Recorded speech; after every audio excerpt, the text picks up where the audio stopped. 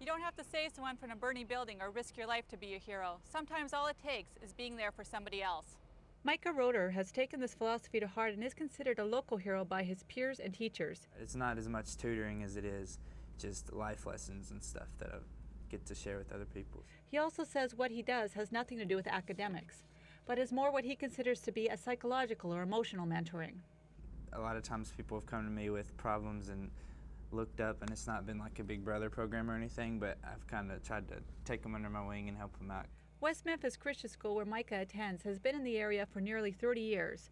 One of the things the school prides itself on is the work their students do in the community. It is a type of thing that we try to nurture. Gloria Runyons is the school's curriculum coordinator and has been at the school for 22 years. Uh, the children invest time in the school and they invest time in their community. One of these students is Megan Crouch. Like Micah, Megan dedicates much of her time to helping others. She's basically grown up in WMC and says it's like um, a family a for her. It was probably five or six, and we helped them make little paper Christmas trees.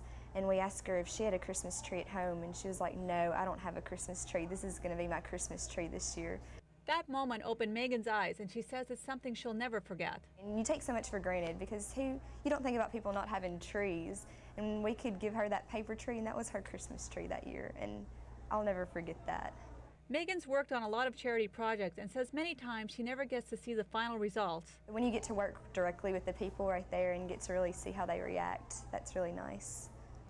Both Megan and Micah say that the work that they do isn't something they have to do, it's something they want to do. And while they may not see themselves as heroes, the people they've helped along the way see otherwise. This is Michelle Ponto reporting from my town on News Channel 3.